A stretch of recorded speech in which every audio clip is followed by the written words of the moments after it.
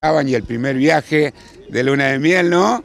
Era hacer este, Buenos Aires, San Carlos de Bariloche, tener la posibilidad de tenerlo a ustedes hoy acá con nosotros, el esfuerzo que ha hecho nuestro gobierno nacional con esto, el trabajo que se ha hecho en recuperar el tren patagónico aquí en Río Negro también, como una cuestión de un tren eh, social y turístico, este, unir, unir eh, el mar con nuestra zona andina y unir el centro del país, nuestra capital.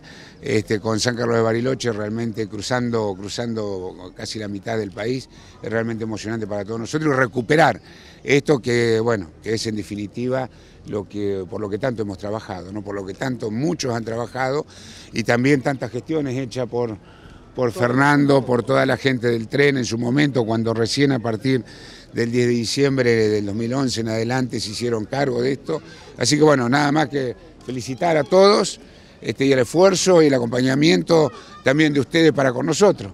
Así que bueno, seguramente de aquí van a tener un viaje espectacular hasta San Carlos de Bariloche, van a estar nuestro gobernador, ¿no?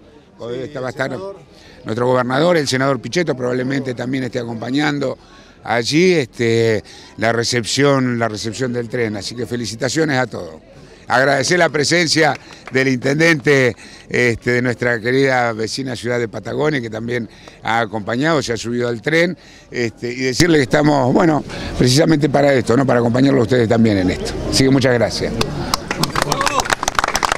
Vamos, vamos a conocer el tren.